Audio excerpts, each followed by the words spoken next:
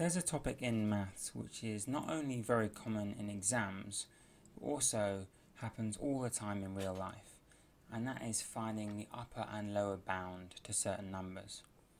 You might be familiar with the phrase to the nearest. That comes up a lot in, as I say, exam questions and real life. Find something to the nearest mile, round something to the nearest pound, that kind of thing. A typical question would be something like this. The width of a rectangle is 5 meters and its length is 4 meters, both to the nearest meter. Write down an upper bound for the area and a lower bound for the perimeter. First of all, let's focus on these numbers 5 meters and 4 meters. And let's notice, first of all, we're trying to find the upper bound. Here's the question you have to ask yourself What's the biggest that that number can become so that it would still round to 5 meters to the nearest meter? How big can we make it? I have a little tip for finding out what that is, and this is what I like to do.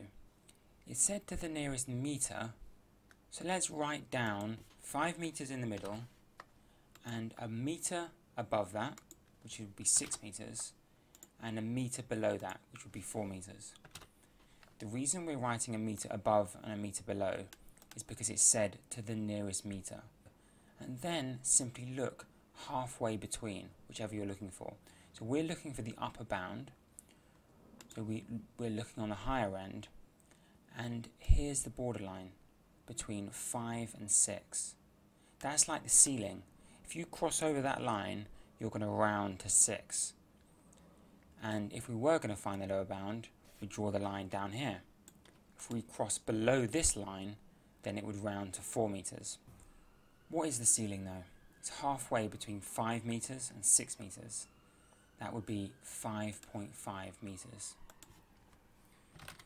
Now, some students say to me, well, 5.5 meters would actually round to 6 meters, so surely we can't use that for our upper bound. How about something like 5.49. Well, 5.49 could still go even higher. It'd be 5.4999999, which essentially is the same as 5.5. I know 5.5 actually sometimes would round to 6, but basically we're just marking out the borderline. The borderline is 5.5, so that's our upper bound. Out of curiosity, what would our lower bound be? Some students would say 5 or 4.9 or something like that, but our lower bound would be halfway here, which would be 4.5 meters. Upper and lower bounds very often end in 0.5s and that kind of thing. Right, so now we're ready to find the upper bound for the area. Let's do, what would the upper bound for 4 meters be? We found the upper bound for 5 meters, that would be 5.5. What about the upper bound for 4 meters? Well, the upper bound for 4 meters, let's just, we've got the 4 meters already done over here. So we can do one above it, which is 5, one below it, which is 3. Draw our borderlines. This time in, let's do it in, say, blue, so we don't get confused from the previous one. There's the ceiling, there's the floor. So the upper bound for 4 meters is 4.5, same as the lower bound for 5 actually and its lower bound is 3.5 meters. There we have the bounds for 4 and for 5. So the upper bound for the area, we're going to use the upper bound for the width and the upper bound for the length. 5.5 times by 4.5. To get the area of a rectangle, you multiply the width by the height and this would be a calculator question, so let's just use a calculator. 5.5 times by 4.5, which is 24.75. 24.75.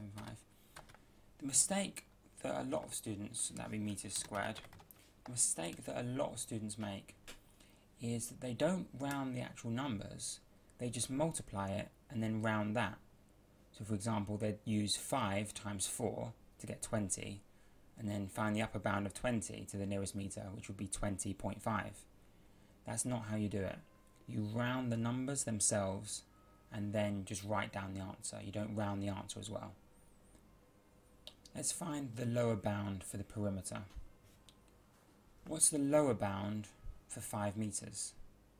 The lower bound for 5 meters is 4.5 meters.